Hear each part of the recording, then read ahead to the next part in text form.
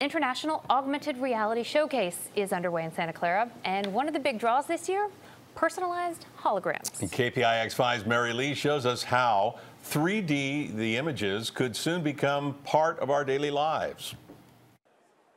Welcome to the future. The Augmented World Expo in Santa Clara features 250 companies with the most groundbreaking augmented and virtual reality technology from around the world. There's actually water below me. I really don't want to go out there. It's just seeing all these little movements and these increments in the technology put together just make these fabulous experiences. This is a capture space. So uh, now you see on the screen our three-dimensional holograms or avatars. HoloCap creates 3D holograms and was just launched on the market two weeks ago. So HoloCap is a system for getting real people in real time into any virtual environment.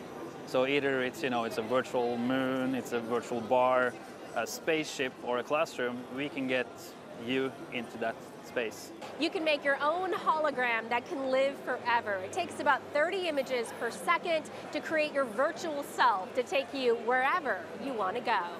We're talking any type of simulation. It can be used in Hollywood, education, to medicine. Soon, virtual and augmented reality will be used on the job. A smart screen weighs about a pound and a half. It's fully rugged. You can drop it, throw it in water. You can do all sorts of stuff clips onto any pair of glasses. So the whole thing is if you're in a factory and you've got a cable, you're concerned, you can actually pull the cable and the whole thing pops right off. Organizers say augmented reality AR or virtual reality VR will soon be a part of our everyday lives. Uh, I think the main thing that we're seeing this year is that XR, so AR and VR, are really set for major growth. And there are many indications here at the show and across the industry that are pointing to, uh, towards that. In Santa Clara, Mary Lee, KPIX 5.